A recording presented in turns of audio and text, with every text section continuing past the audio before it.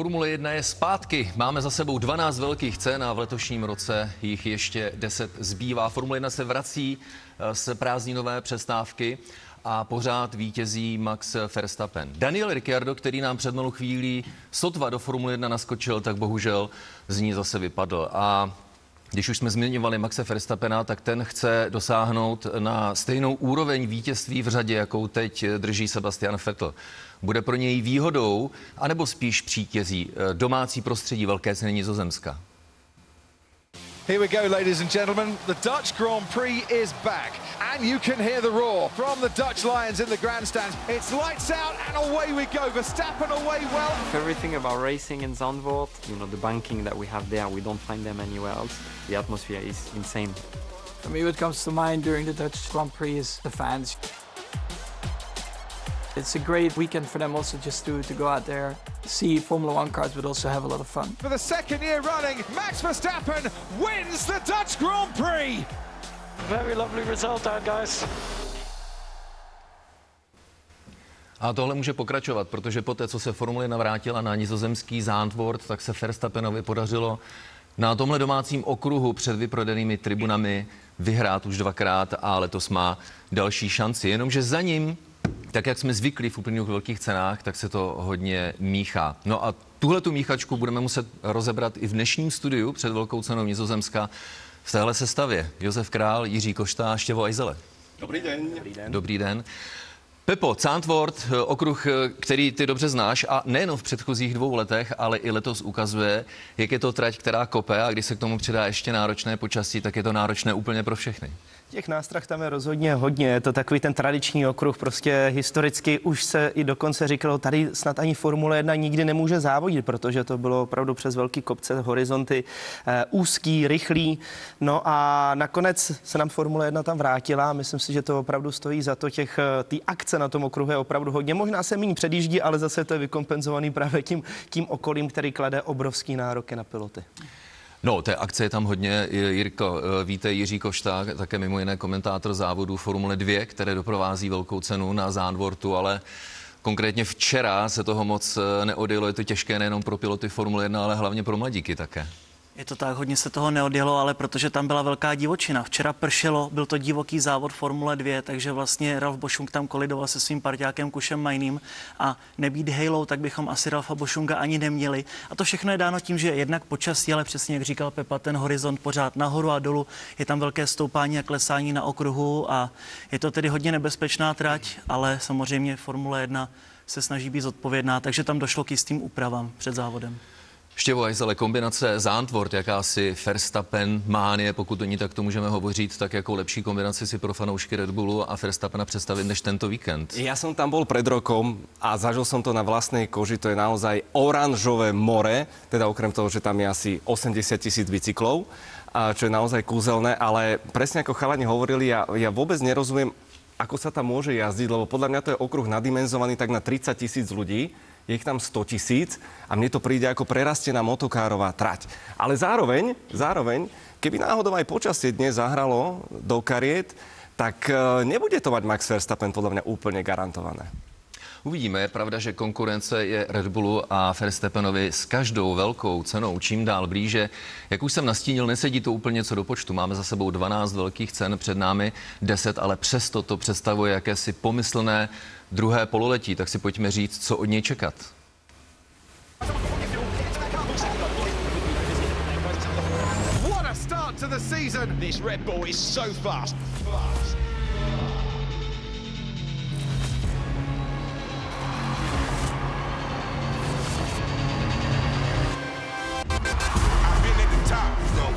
Before and I stand there again. It's a drag race. He is to try the inside. Can hear the roars.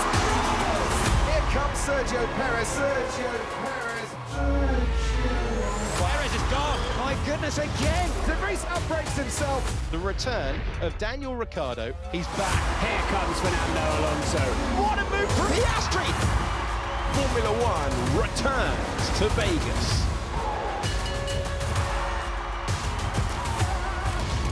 Can Red Bull achieve the impossible? Některá věda, i když jsou připravena na poslední chvíli, tak nám prostě přece jenom trošičku eh, zestárnou, ale k tomu se dostaneme za malou chvíli. Mě zajímá, a nechal jsem si udělat takovou anketu, jestli byste přáli Red Bullu, aby vyhrál všechny závody letošní sezóny, anebo spíš ne. A mile mě překvapilo, jak vzácně je to vyrovnané, téměř 50 na 50. Takže těch z vás, kteří se těší na druhou polovinu sezóny, je zřejmě hodně, ale přesto všechno. Pokud eh, mezi námi jsou tací, kteří eh, jsou, řekl bych, tou dominancí trošičku otráveni, tak na co je nalákat? Na co se těšit? Na co se těší ve druhé polovině sezóny Josef Král? Já jsem takový, jako, myslím si, vnitřně hodně rozpolcený, krom toho, že jsem teda blíženec taky teď tentokrát ve Formuli 1. protože... Rovno povedz Vegas. Uh, no, protože uh, mám na to takový jeden pragmatický pohled, který je, že vlastně asi se dá očekávat, že se to Red Bullu úplně nepodaří získat eh, všechny ty vítězství. A přesně jak už na to Štěvo narážel, už i tady v Zandportu vidíme, že najednou soupeři se hodně začínají přibližovat. A pravděpodobně do konce sezóny mám pocit, že se přiblíží natolik, že klidně bychom tam mohli mít tým, který by mohl začít porážet i samotný Red Bull, což asi v tuhle chvíli zní jako pohádka pro spoustu právě lidí, kteří nejsou úplně spokojení s tou dominancí, ale je to v podstatě spíš eh, reflexe na tu situaci, ve které jsme, ať už z důvodu rozpočtových stropů, ať, už z důvodu vlastně příští sezóny, kde týmy začnou se soustředit čistě a myslím si konkrétně Red Bull jenom na, to, na ten příští rok, na to auto. Oni už tohle nebudou řešit, to je zakonzervovaný, nechají to doplácají, to mají velký nás náskok bodový, takže, takže to je v pohodě. Ale pak přichází to druhý já, teď nevím, jestli to dobrý nebo to špatný, to už nechám na vás, ale každopádně mně by se to strašně líbilo, kdyby vyhráli úplně všechno a strašně bych jim to přál, protože kdyby se to stalo, tak kdyby nastala ta další doba, že by to někdo mohl zopakovat? To je podle mě velký otazník a být vlastně součástí takovéhle éry by bylo strašně fajn. To zažít a být toho svědky. Mluvíš mi z duše, už jenom být u toho teďka v této sezóně a čekat, jestli se to povede, anebo jestli se objeví někdo, kdo tu šňůru přeruší. Zbývá deset velkých cen, na co v nich eh, nalákat eh, ze strany Jiřího Košty. No, určitě můžeme říci, že Red Bull a Max Verstappen už mají ty tituly téměř jisté, ale za nimi je to strašně zajímavé, protože my absolutně netušíme, kdo je druhý nejrychlejší tým, anebo možná ke konci sezóny, kdo bude první nejrychlejší tým. Protože jeden víkend je to McLaren, druhý to je Aston Martin, třetí je to Mercedes. A ta bitva o to třetí místo mezi jezdci, mezi Fernandem Alonzem a Lewisem Hamiltonem začíná být také hodně zajímavá. Stejně tak mezi konstruktéry, takže to si myslím, že je skvělá pozvánka. A on to říkal Zach Brown, šéf týmu McLaren, myslím, že kdyby jsme neměli Red Bull, tak je to perfektní sezóna. A je to na jednu stranu tak, protože uprostřed pole je to extrémně vyrovnané. Na co se těší a co čeká od eh, zbývajících deseti závodů Štěvo a Izele? Tak ja som zvedavý na ďalšie švejkoviny, aké sa ešte objavia, lebo je to úplne také typické. A každý tým sa snaží nájsť nejakú takú sivú zónu, o ktorej, o ktorej nevie. A takou špecialitou, na ktorú netreba zabúdať, je silly season, ktorá o chvíľočku sa k tomu dostaneme skrýva ešte nejaké veľké otázniky. Helmut Marko zrazu otočil a povedal, že však Perez nemá nič isté v Red Bulle. Tak, tak sme podľa mňa všetci zdvihli obočie, že hopla, to sme celkom nečakali. Vráti sa Mick Schumacher? To je tiež podľa mňa jedna z veľkých otázok. A Las Vegas. To je, to je podujatie, ktoré už teraz je podľa mňa prehajpované, až sa toho desím, ale môže to byť naozaj veľkolepé. Pojďme si říct, co se bude eh, dít příští víkend, eh, byť předhá, před, eh, předskakuji malinko, ale pouze zdánlivě, a to je velká cena Itálie, do které nenastoupil v loňském roce Alexe Albon kvůli naléhavé operaci slepého střeva. Zaskočil jej Nick de Vries. Řada lidí očekávala, že to bude člen akademie Red Bullu Liam Lawson. A teď s velkou pravděpodobností se mu to povede o rok později, příští týden, protože Liam Lawson nastupuje už tento víkend do velké ceny Nizozemska, protože Daniel Ricciardo je, tak říkajíc, out. Co se mu přihodilo, během druhého tréninku nejprve havaroval s McLarenem Oscar Piastri ve třetí zatáčce, ona už dneska slavná klopenka, a za, ní se, eh, za ním se přiřítil Daniel Ricciardo. Jenom poprosím, abychom se podívali na tu kolizi ze druhého tréninku eh, na velkou cenu Nizozemska. Tady máme. Tady už je havarovaný McLaren Oscara Piastriho a Daniel Ricciardo jedoucí za ním se lekl. Teď sledujte jeho ruce. Daniel Ricciardo se do poslední chvíle snažil zabránit kolizi tím, že pracoval s volantem, ale po nárazu jeho Alfa Tauri do bariéry to samozřejmě pohlo koli a celý ten náraz šel přes tyč řízení až k volantu a ten mu zlomil eh, jednu z, eh, z kostí v levé ruce. To znamená, že Daniel Ricciardo chvilku poté, co naskočil zpátky do Formule 1, tak už je zase mimo. Je to smůla, no, co se na to dá jinak říct, protože většinou takovýhle nehody, když se stávají, tak vy jakožto pilot, který má spoustu let zkušeností, závodů a bůraček za sebou, které samozřejmě k tomu závodní patří, tak uh, už víte, že když přichází ten náraz, tak automaticky pouštíte, pouštíte ty ruce. Průšvih byl, když se podíváme vlastně na ten opakovaný záběr, když tam Ricciardo přijíždí, tak uh, v podstatě ty vlajky, respektive ten signální panel je už těsně před zatáčkou. Oni nerozsvítili ten, který byl vlastně o zatáčku dřív, který vám v té rychlosti alespoň dává nějaký prostor. Tady vidíte, jak už Ricciardo i sám ukazuje právě na tu levou ruku, eh, kterou, se kterou nemohl hýbat, hýbat, hodně ho to bolelo. A právě to načasování bylo dost nešťastný, protože on měl opravdu dvě varianty, dvě možnosti, které i sám říkal. Buď to bych napálil to přímo do Piastryho z boku, anebo jsem to auto potřeboval nějakým způsobem usměrnit do bariéry. A samozřejmě, pokud je to takhle na poslední chvíli, tak vy se to snažíte ukontrolovat až k tomu nárazu. A v zásadě jde o to, že z toho onboardu není úplně patrný, co se tam s tou rukou stane, ale když vidíte, tak on vlastně tu pravou ruku, kterou má na tom volantu, tak pustí. Tam to není tak velký problém. Průšvih je, že vy jak máte ty ruce zrotovaný a jste v takový té pololežící pozici, tak ta levá ruka se mnohonásobně hůř pouští, protože on není, není prostor někam zastrčit, schovat. To znamená, že on teoreticky možná klidně z toho volantu podvědomně, to už děláte tak nějak, to tělo je takový ochranný mechanismus, si tam vytvoří, tak podvědomně to pustíte, ale ten volant, on není kulatý, on je šišatý ve Formuli 1 a, a tahle právě ta část těch rovných ploch mohla právě jemu narazit do té ruky a vlastně vzít ji, jak se říká, sebou, což mohlo způsobit právě to poranění ne úplně toho zápěstí, ale té záprsní kůzky, která bohužel je teda dost velký trápení v rámci, v rámci té regenerace. A na jak je to dlouho? Kdy můžeme čekat, že se Daniel Ricciardo vrátí? Dobrá otázka. Z MotoGP víme, že to jde během pár dnů, ale, ale eh, v, rámci, v rámci už dlouhodobých zkušeností profesionálního fotbalového brankáře no. se můžeme zeptat Štěma Izeleho. No, pardon, Tome, ale já jsem nikdy nevěřil, že čo mám spoločné s Danielom Ricciardom. Úsmev to asi nie je, ale rovnaké zranenie. Ja som mal 17 rokov a na futbale, bol som brankár, akože nie je úplne najlepší na svete zase, a ja mám to isté zranenie, uh, záprsná kostička, hnusné, 5 mesiacov som sa z toho spametával. Mal som 6 mesiacov sadru, 2 mesiace bolestivé rehabilitácie, lebo to, je to veľmi nenápadné zranenie, ale táto oblasť nie je dobre prekrvovaná. Tým pádom strašne dlho trvá, kým sa tá kosť zrastie, ale už sme o 20 rokov sa posunuli. Uh, operácie vedia výrazným spôsobom pomôcť. Daniel Ricciardo už dnes podľa všetkého absolvuje tú operáciu v Barcelone u pána Míra, čo je legendárny doktor, ktorý dal dokopy mnohých MotoGP závodníkov a pomáhal aj Lansovi Strolovi. Tam to boli konkrétne zápestia. Za 12 dní Stroll bol schopný pilotovať monopost Formuly 1.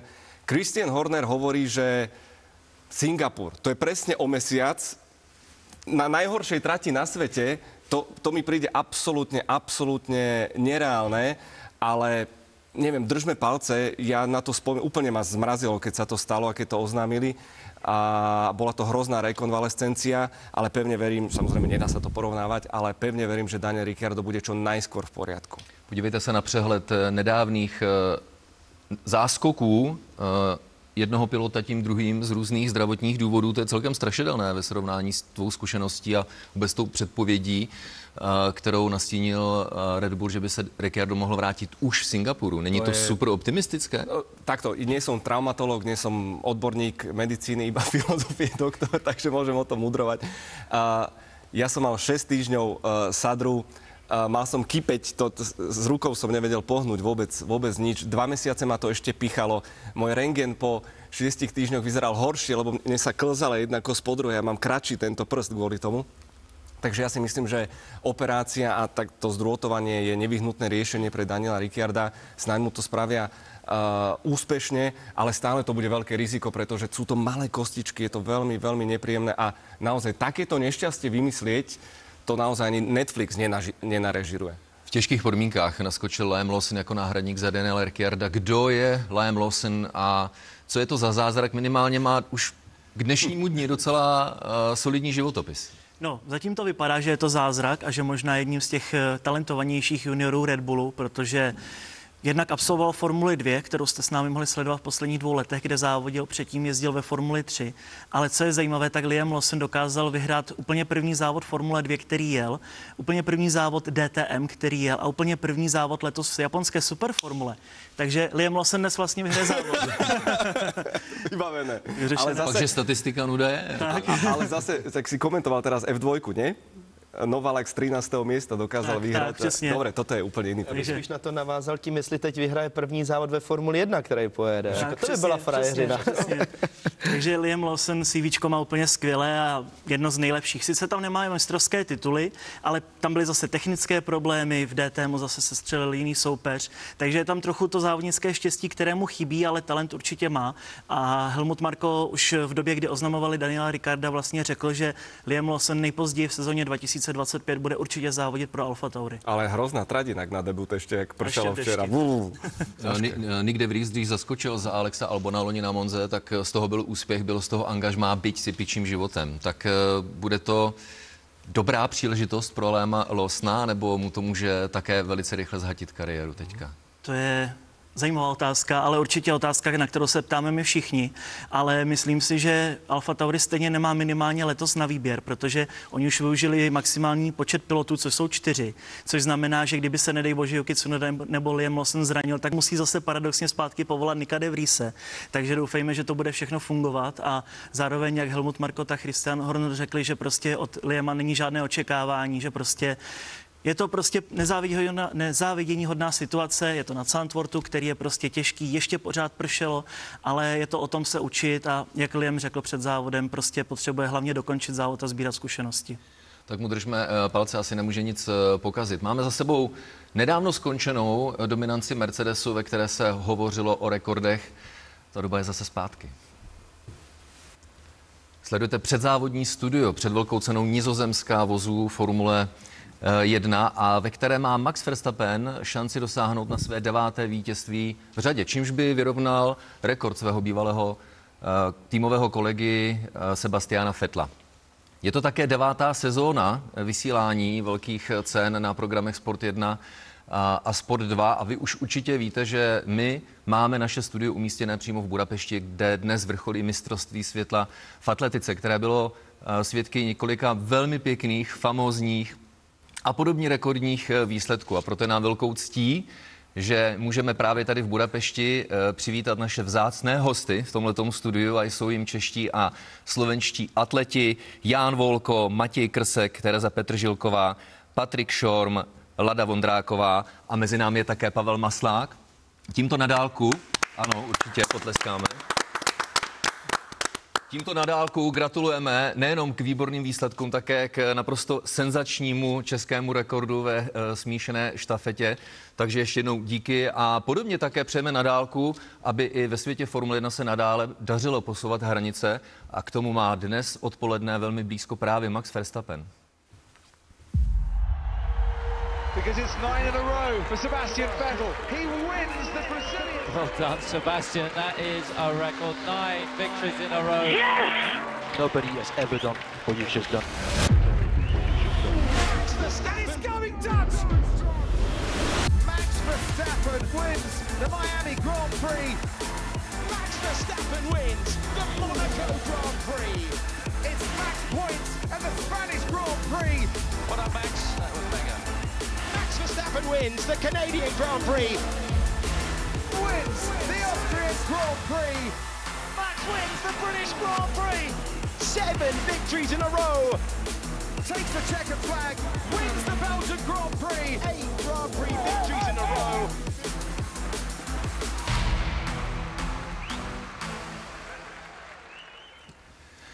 I když je konkurence čím dál blíž, tak Max Verstappen má dnes možnost si to užít ve velké parádě. Otázkou je, jestli vyprodané nizozemské eh, tribuny jsou podporou, anebo spíše přítěží. Pojďme se podívat na statistiku vítězství. Eh, V řadě jejíž eh, rekordmanem zatím v tuhle chvíli je Sebastian Vettel a vy si také můžete prohlédnout jeho pronásledovatele. Pepo, když byl dotázán Max Verstappen, jestli je to spíš nuda, nebo ho to takhle baví, tak on říká, uh, baví mě to, uh, protože kdybych závodil ve středu uh, pole, tak je to spíše nuda. Tomu se asi dá věřit. Ty jako závodník dokážeš tahle slova pochopit. Rozhodně ano, protože mě už xkrát vlastně historicky, když takhle vzpomínám, a teď nevím přesně, kdo to byl, myslím si, že to byl Lewis Hamilton, který spíš mě přišlo tak jako populisticky vlastně řekl, mě vlastně nebaví vyhrávat o půl kola, já bych radši vlastně bojoval s těma všema závodníkami, jenomže to je s proměnitím úplná blbost, protože vy chcete vyhrávat, proto to děláte. A vlastně zase budu reflektovat spíš na slova Sebastiana Fedla, který právě tady drží tenhle ten rekord když vlastně vyhrál ten čtvrtý titul v Abu Dhabi, tak on říkal, užívíme si to, protože nikdy nevíme, jak dlouho to bude trvat. A právě proto si myslím, že i z pohledu Maxe Verstappena to, že vyhrává ty závody, a on to samozřejmě vypadá, že vyhrává velmi lehce, což ale není vůbec žádná pravda. A minimálně, jako když se podíváme na výsledky Čeka Pereze, tak si myslím, můžeme si odpovědět, jak je těžký ujet všem ostatním, včetně Pereze, o tolik. Tak eh, z tohohle pohledu podle mě i Max, a je to podle mě na něm vidět, že z začátku byl mnohem víc nervózní, potom získal první titul, eh, potom, že teď má nakročeno dál vlastně k těm dalším titulům, dejme tomu, ale už je celkově vidět na tom, že se to užívá, že ho to baví, Protože přesně, on nemůže vědět, že to třeba už možná teď v Zantwortu skončí ty vítězství a tak dál, což samozřejmě trošku, uh, to je trošku nadsázka, ale minimálně ta příští sezóna už je přece jenom velký otazník. A navíc eh, rekordů, které ještě může Max Verstappen překonávat, je celá řada. Například počet stupňů vítězů v řadě. Těch má v v současné době nejvíce ještě pořád Michal Schumacher, celkem 19, Lewis Hamilton 16, Fernando Alonso 15, Max Verstappen 13 a Sebastian Vettel 11. Jirko, eh, Max Verstappen o sobě říká, že není přítelem nějakých statistik a rekordů, že jediný důvod, proč je tady, je, že chce vyhrávat, ale přesto. Neleží to tomu těm sportovcům hlavě, protože když se řekne, překonal jsem nějaký rekord, tak to přece jenom nějak zní. Já si myslím, že u Maxe to úplně neplatí, protože Max přesně říkal, já potřebuji vyhrát jeden titul ve Formule 1, to byl ten můj cíl. A to všechno, co už se teď stane, je prostě bonus. A jak říká Pepa, on si to užívá, on je prostě hodně sebevědomý a věří si a prostě je to úplně jiný Max Verstappen, než když nastoupil do Formule 1. Je mnohem vyrovnanější, už nemá ani takové ty své, své, razné, své razné odpovědi k novinářům a je takový celkově klidnější, občas trošku vybuchne do týmového rádia, ale vlastně po závodě už je pak úplně v pohodě a Max hodně vyspěl a zároveň samozřejmě určitě by ho potěšilo, kdyby vyhrál 8 titulů. Má smlouvu právě dánou do roku 2028, což by mu akorát tak nějak mohlo vyjít, ale myslím si, že to není ten hlavní cíl, proč by chtěl závodit. A paradoxně docela otevřeně mluví o tom, že je život po Formuli 1 a že si užívá, že s partnerkou Kelly. Když Max Verstappen získal první titul, tak řekl, svůj cíl jsem splnil. Navíc takhle raném věku všechno ostatní už bude zábava. Vypadá to, že Max Verstappen dokáže dostat slovom, nebo tam jsou přece jenom nějaké motivace v podobě dalších titulů, dalších vítězství a překonaných statistik? Zažili jsme dominancie Hamiltona, Fetela, Michala Schumachera. A myslím, že nikomu z nás nenapadlo, že by niekto prekonal Šumyho 91 víťazstiev. Prišiel Lewis Hamilton, tú latku proste postavil. Vyzerá to nedostihnutelné. A keď vám nejaký pilot, hoci aký pilot povie, že ja štatistiky nesledujem, tak môžete si byť istý, že klame. Je to jedna z vecí, ktoré samozrejme e, odburáva ten tlak. Nechce to na seba priťahovať, ale všetci sú posadnutými rekordami a je to úplne prirodzené, veď o tom je samozrejme ten šport. A na Margo Maxa by som povedal už iba takú jednu strašne dôležitú vec, lebo samozrejme vzniká nám tu podobná vec, ako sme mali s Lewisom Hamiltonom. Má svoj obrovský fanklub, ale antifanklub sa začína samozrejme zväčšovať a takto jednoducho pri veľkých šampiónoch väčšinou chodí. A vždy, keď to vyzerá, ako Pepa povedal, že, že jednoducho, tak stavte sa, že je za tým kopec driny.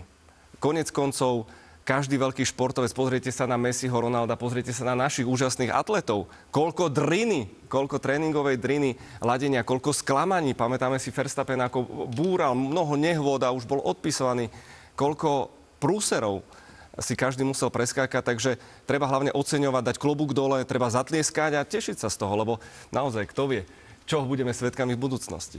Mario Andretti si myslím, že to vyjádřil celkem pěkně a ty si nastínil, jak se nám to začíná diverzifikovat. Eh, řekl bych takový čím dál věrnější, nadšenější, temperamentnější fanoušci Maxe Verstappena a ten druhý tábor, to čekání na to, komu se povede, ať už je to letos nebo příští rok, co do vítězství nebo do titulu, tak to čekání na to, kdo bude tím prvním, tak má v sobě určité vzrušení. Spomeňme si, ja to mám v živej pamäti, Španielsko 2016 absolútne dominantný Mercedes a to, tá škodoradosť, keď sa zrazili Rosberg s Hamiltonom, že? Mimochodom prvé víťazstvo ho Maxa. Verstappena. Uh, takže uh, to patrí k športu. Samozrejme, nikto nechce vidieť nejaké zranenia, nejaké, ne, nejakú smolu, to v žiadnom, žiadnom prípade, ale uh, za seba musím povedať, hoci áno, bolo by to veľkolepé, keby dokázali vyhrať všetkých 22 veľkých cien, ale štatisticky mi to nevychádza. Vždy sa stane nejaká blbosť, nejaká matica, nejaký pitstop, nejaká chybička, niečo vždy sa stane, takže v tom je ten šport úžasný, krásny a užívajme si ho. No, těch faktorů, které mohou tuhle snahu Maxe Verstappena a vlastně Red Bullu vyhrát všechny letošní závody, tak eh, tuhle snahu může opravdu překazit ledas, co těch parametrů tam jsou tisíce. Ale jak moc těžké si myslíte, že je pro Maxe Verstappena získat to dnešní deváté vítězství eh, v řadě? No tak k tomu už on sám vlastními slovy.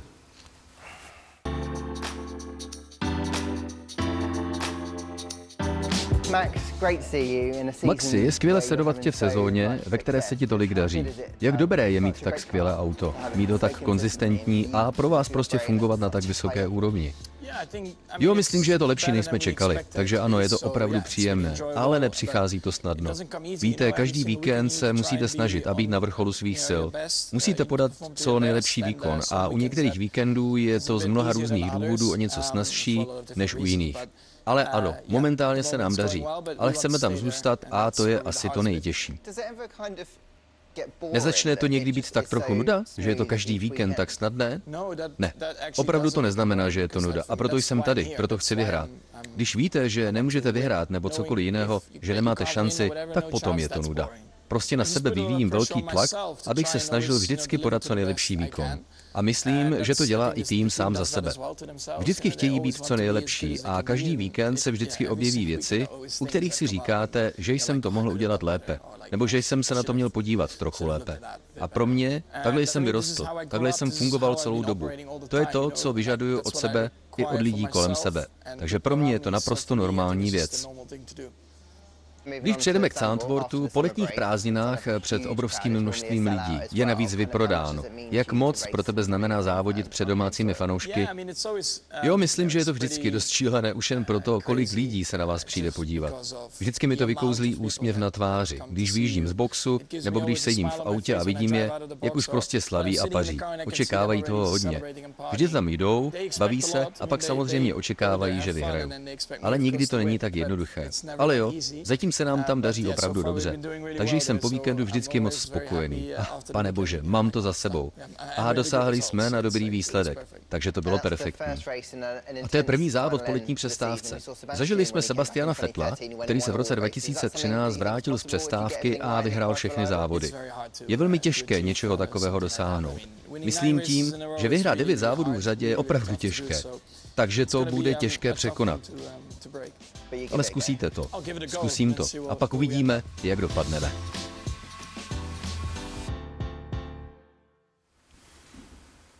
Tak uvidíme, jak už jsem nastínil podle výsledku různých anket.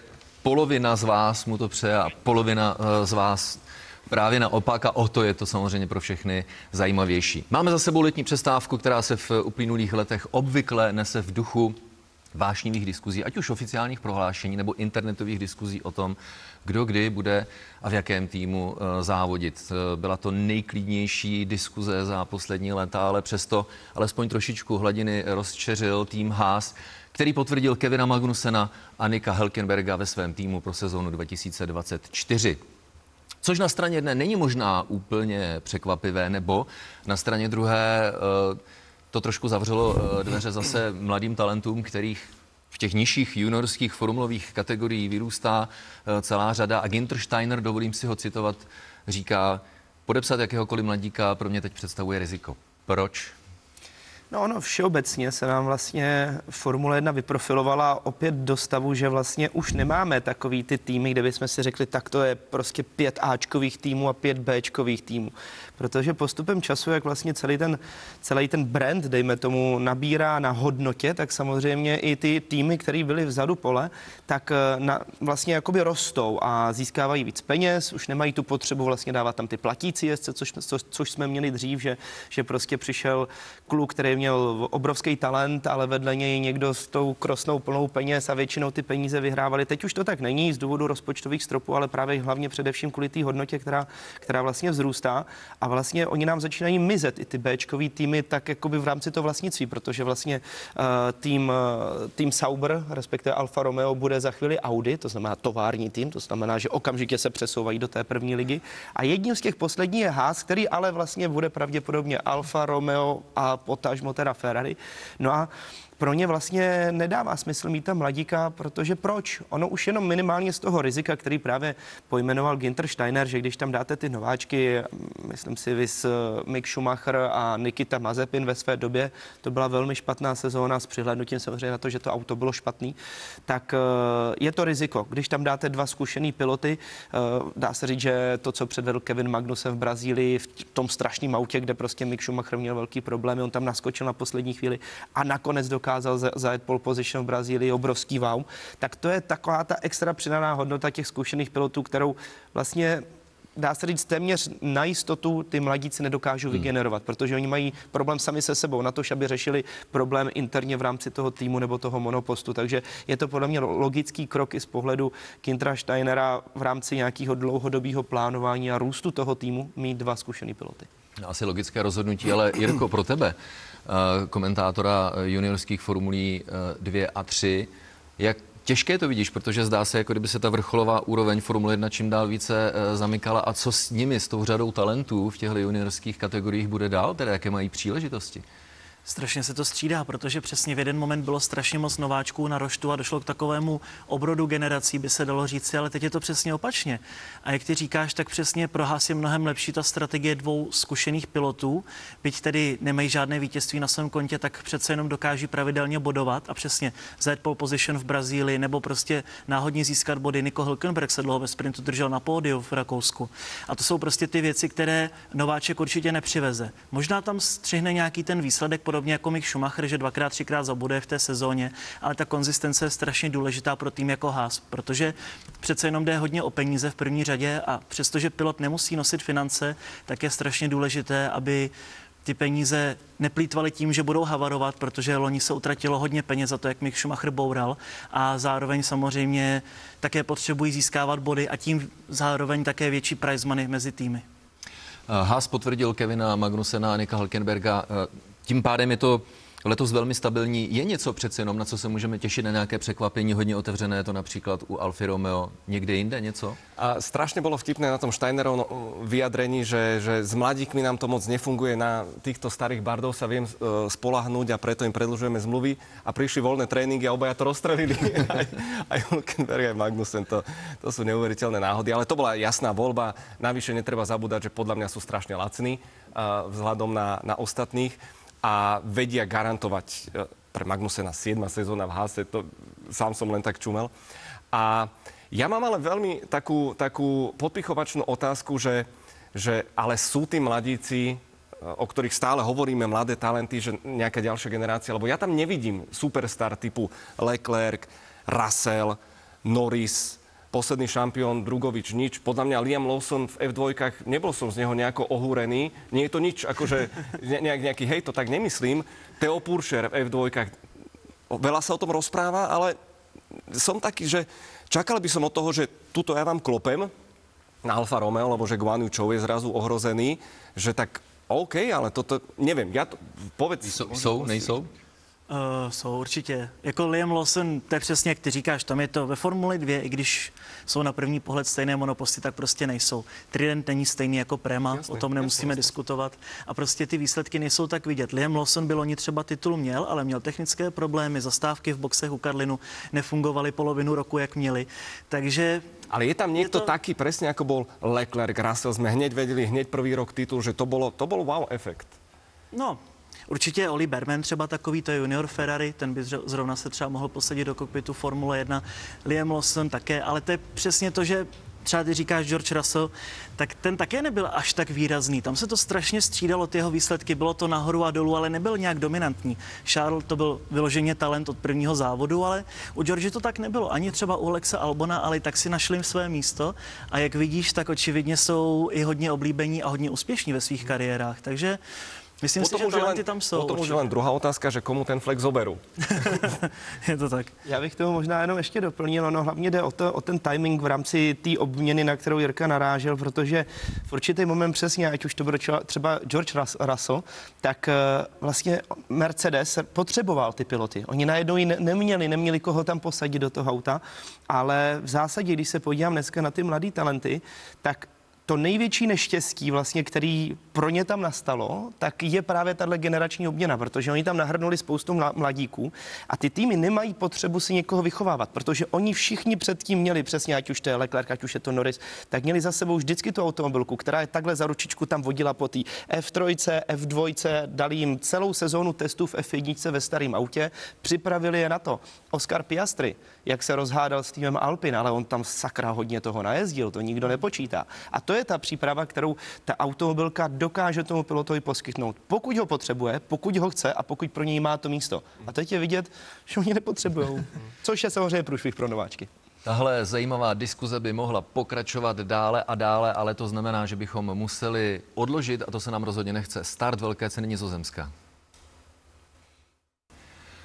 Po letní přestávce nám startuje druhá polovina sezóny, která čítá 10 velkých cen a rovnou velkou událostí pro Maxe Verstappena a Red Bull domácí velká cena nizozemská, ale není to tak jednoznačné, jak to může vypadat, protože na prvních šesti místech na startu se postavili zástupci šesti různých týmů. Za malou chvíli nás čeká závod na Zandvortu. Welcome to Zandvoort. It is the Dutch Grand Prix. This is going to be an exciting race, I think. It's lights out and away we go. Lewis Hamilton touches Carlos Sainz. Fernando Alonso blasts past. 105,000 Dutch fans making a tremendous amount of noise. Hamilton and Verstappen is going wheel to wheel and Verstappen is ahead. That's mega. Max Verstappen wins the Dutch Grand Prix. Tak a Zandvoort eh, je dalším eh, závodem, kterému předcházela řada velkých cen a někde na začátku byla velká cena Azerbajdžánu, o, o které eh, Max Verstappen prohlásil, že od té doby každý víkend nějakým způsobem ovlivnil déšť a tento víkend toho není výjimkou. A doplatil na to mimo jiné pilot Williamsu Logan Sargent, který nejprve dosáhl na fantastický výsledek tím, že v náročných podmínkách se dostal do třetí části kvalifikace, ale v jejím úvodu to takhle rozbil. Jak se uh, říká from hero to zero, nehledě na to, že tam byla šance na uh, solidní výsledek a tohle auto je teď uh, hodně rozbité a taková trošku kaňka už na hodně kritizovaném Sargentovi v poslední době. Je to škoda, navíc úplně zbytečná chybka, která nebyla ani podle mě ovlivněna tím, že bych chtěl jet nějakým způsobem rychle. Právě ty podmínky jsou velmi náročné a ono hlavou vám na začátku většinou ty kvalifikace a teď záleží samozřejmě toho každého segmentu běží spousta věcí, protože ono to není tak, že prostě vyjedete, zatočíte si volantem, objedete dvě kolečka, jedete do boxu, ale opravdu v té hlavě se vám tam to honí, jak rychle se přizpůsobit eh, vlastně té trati, jak ohřát pneumatiky v takových, v takových podmínkách, jestli zahřát víc předky, zadky, abyste to všechno si nachystali. Eh, Do toho samozřejmě ještě ten proces toho nastavování toho auta v průběhu té jízdy, protože máte spoustu nástrojů, který můžete využít právě v momentě, když jsou takhle špatné podmínky. A to všechno vám v té hlavě samozřejmě šrotuje speciálně na začátku toho rychlého měřeného kola, kdy tam chcete si dát tu referenci, tak vy sledujete úplně všechno. No a potom stačí právě těch pár centimetrů, protože tady se bavíme o nějakých 10, maximálně 15 centimetrech, o které vlastně Logan vybočil mimo tu suchou stopu, líznul si o tu mokrou a v ten moment vy jste jak na ledě a je to zase asi trošku návrat k tomu tématu, který jsme měli vlastně před, před eh, tou reklamní pauzou, kdy prostě nováček, a to samozřejmě Logan Sargent už úplně není tolik jako nováček, už přece jenom něco odjezdil, tak je právě blíž takovýhle zbytečný chybě, než právě ty zkušený matadoři a mazáci. No. Jako třeba Charles Leclerc. Tak, Char- záleží. Charles Leclerc, eh, který eh, bohužel ve třetí části kvalifikace v samotném závěru, kdy se nabízela šance na osychající trati, to také nezvládl a už na suchých pneumatikách eh, boural do bariéry z pneumatik Co mě zarazilo, tedy nejenom to, že se Charles Leclerc dopustil téhle chyby, protože vypadá, jako kdyby si ta frustrace vyžadovala větší a větší daň v podobě právě většího množství chyb, ale řeč těla po té havárii, jako kdyby byl Charles Leclerc už přece jenom malinko rezignovaný tou situací. Trochu mi to připomněla, připomnělo Alonza a McLaren v sezóně 2015, kdy tam takhle Fernando Alonso také seděl na židli po té, co musel odstoupit předčasně, teď to dokonce vidíme.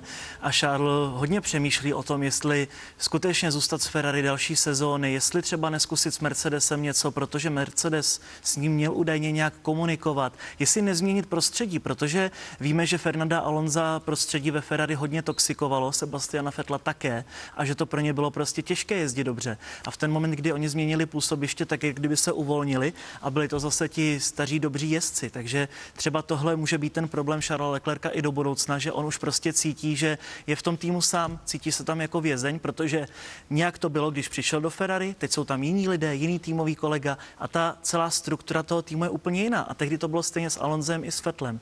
Takže doufám, že Charles nebude následovat jejich stopy, protože jeho potenciál je obrovský a přesně to je jeden z těch větších mladíků, kteří mají určitě větší šanci na budoucnost a lepší titul třeba získat někdy. Jak to teď vypadá ve Ferrari z pohledu vyjednávání s oběma piloty Charlesem Leclercem a Carlosem Sainzem, protože množství dotazů eh, nabírá na intenzitě co do budoucnosti jezdecké sestavy Ferrari.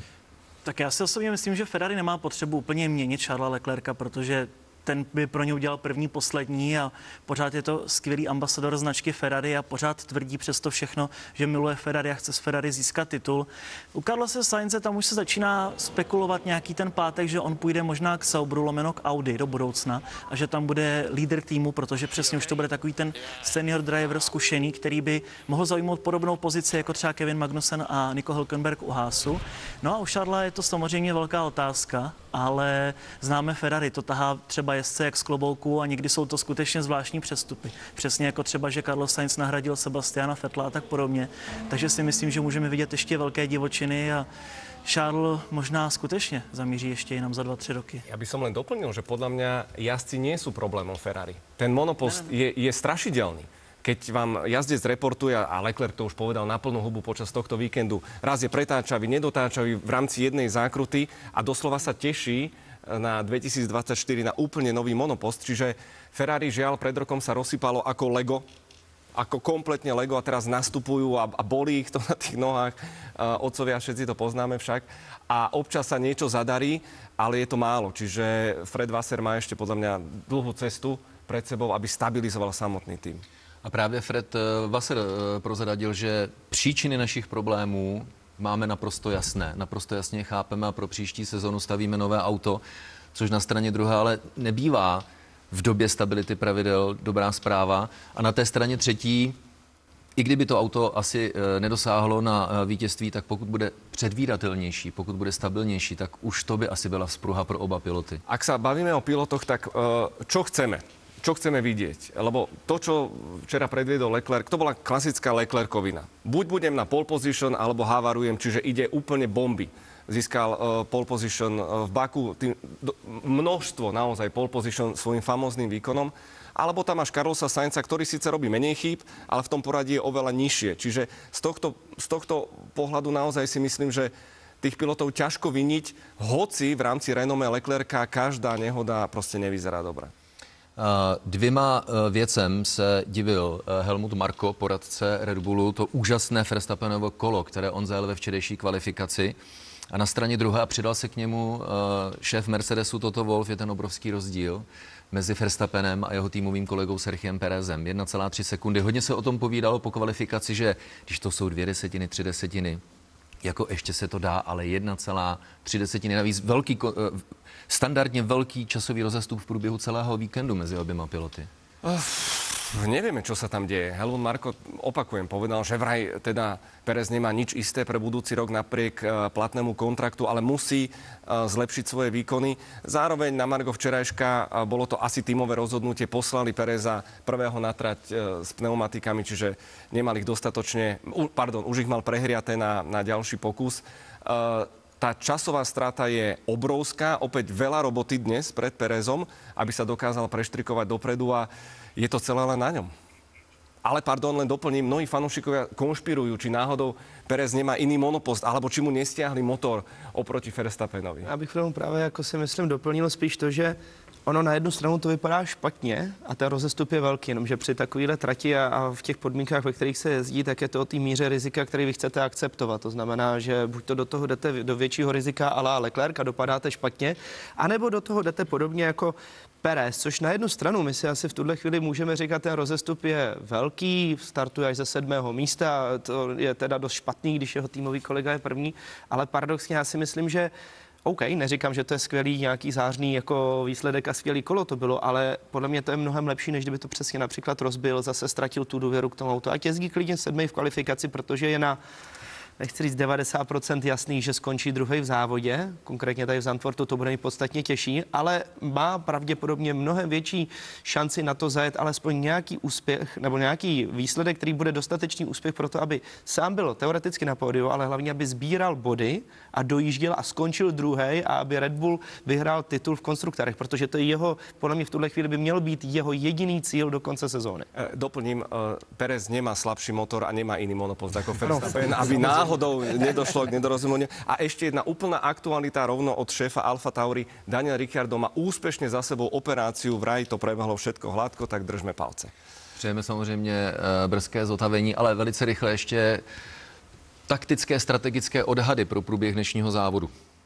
Bude to strašně náročné, protože samozřejmě my jsme neměli pořádnou možnost si vyzkoušet suché pneumatiky a jak bude fungovat opotřebení, ale co můžu soudit podle závodu Formule 2, tak to není až tak špatné s pneumatikami. A možná by se to dalo zvládnout i na jednu zastávku v boxech, takže to bude hodně náročné strategicky nějak zkusit nějaký undercut, overcut na své soupeře, ale zároveň Pirelli, které tedy většinou ty predikce nemá úplně přesné, tak říkalo, že by chtělo mít dvě zastávky v mm, boxech, mm, mm. ale já si myslím, Říká že hodně dlouho. Právě chtít můžou, ale realita, realita úplně taková není, takže spíše na jednu zastávku v boxech střední a tvrdá sada. Uh, McLaren opět překvapil, ale samozřejmě dobře, protože Lando Norris stojí s Maxem Verstappenem uh, na první řadě na startu. Je to auto, které je považováno za takový malý technický zázrak, co do rychlosti vývoje a tím pádem zlepšení rychlosti, kterého dosáhli. Je to tedy auto, eh, kterému stojí za to podívat se blíže na zoubek. Dostat se k současnému vozu Formule 1 není tak úplně jednoduché, ale naše televize dostala tu možnost, tak využijte také společně s námi té příležitosti. A potom eh, rovnýma nohama do velké ceny Nízozemska roku 2023. Hvězda posledních dní je tým McLaren, který zazářil na Silverstoneu eh, v důsledku nasazení různých zlepšení a my se samozřejmě zajímáme o to, jak tahle ta zlepšení zafungují, protože to není vůbec jednoduché. Však si vzpomeňme, přední křídlo, které ve velkém určuje to, jak se bude pohybovat v dalších částech auta, jak se bude chovat kolem eh, kol. Důležité je směrování na náběhové hrany podlahy, ale také jak se vzduch bude chovat na krajích podlah, jak budou vznikat různé víry, tak aby byl takzvaně zamčen prostor pod podlahou, která je u současných aut velice důležitá jak budou pracovat se vzduchem bočnice a pomáhat tak generování přítlaku skrze zavěšení v oblasti u zadních kol a jak bude vzduch dál přes eh, zadní spoiler a také z podlahy ven z difuzoru, což je také důležitá součást auta, která pomáhá generování přítlaku. A proto tady mám Pepu Krále, protože řeknete si, tak co je tak těžkého na tom udělat to auto rychle, ale za existence rozpočtových stropů a vývojových limitů není vůbec jednoduché, když se rozmyslíte změnit nějakou konkrétní součástku na autě, tak není prostě jednoduché ji vyměnit jako Lego. Že jo, Pepo? Prostě například jedna z těch těžší částí a uh, řekl bych oblastí auta je tady za předními koly a náběhová hra na podlahy. Přesně tak, já možná ještě jsem poukážu na jeden krásný fakt, když se podíváte na, ten, na tu rozdílnost toho karbonu vlastně.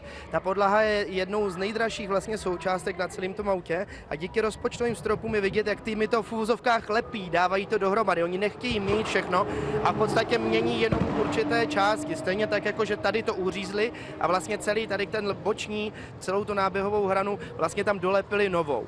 Co je hlavně i taky velmi zajímavé, když se na to podíváte, tak ten vstup té podlahy je relativně velký. Si řekneme, ano, to všechno proudí dozadu k tomu difuzoru. Opak je pravdou, opravdu ten vzduch, co přijde od toho předního křídla a okolo vlastně toho celého předního zavěšení, proudí sice z části pod podlahu, ale to je pouze tato část. Tyhle venkovní částky, když se posuneme potom dál, tak právě vyhánějí ten vzduch vlastně ven tímto směrem. A je to z toho důvodu, že vlastně tady se nám vytváří velká turbulence od, od toho předního kola a tím pádem vy chcete vlastně ten vzduch zastavit a odehnat ho pryč a vlastně nechat uzavřenou pouze tu zadní část podlahy. Tak a teď si eh, veme, že kdybychom chtěli zapracovat na této části, tak chování vzduchu v tomto prostoru ovlivňují jiné části auta. Pojďme se přesunout schválně právě do oblasti předního křídla. Samozřejmě složité přední křídlo, ale povšimněte si, a Pepo, to by nás zajímalo, těchto těch velmi zajímavých prvků kanálků, které směrují na vnější stranu předního kola. No na začátku to bylo tak, že většinou my jsme opravdu ty přední křídla měli udělaný ten invoice, se tomu říká. To znamená, že většina týmů, nebo polovina na půlku, to tak bylo půl na půl, hnali ten vzduch dovnitř. Postupem času díky té evoluci a pochopení toho celkového konceptu opět, a hlavně teda těch šedých mezer v těch, v těch pravidlech, opět ty týmy našly tu cestu a takhle malými detaily dokážou ten vzduch před tou, eh, před tou přední gumou vlastně vyhnat ven, aby si nerozbili právě ten směr toho vzduchu, který potom jde už právě do té podlahy. Tak a jedna z věcí, kterou na autě můžeme vidět, tak jim říkáme povrchové části, tak jak se vzduch chová v oblastech auta, které jsou vidět, ať už to jsou tyhle povrchy, bočnice, horní části podlah, ale to samozřejmě velice důležité se děje pod samotnou podlahou, která v moderní době velice výrazně přispívá generování přítlaku. No a jak nakonec poznat, to, jak to inženýři vymysleli eh, v konstruktérských kancelářích a jak to ověřili v aerodynamickém tunelu, tak jak porovnat s tím, jak se to auto chová na reálné závodní trati. Pojďte se podívat, co tady občas vidíte během pátečních tréninkových jízd.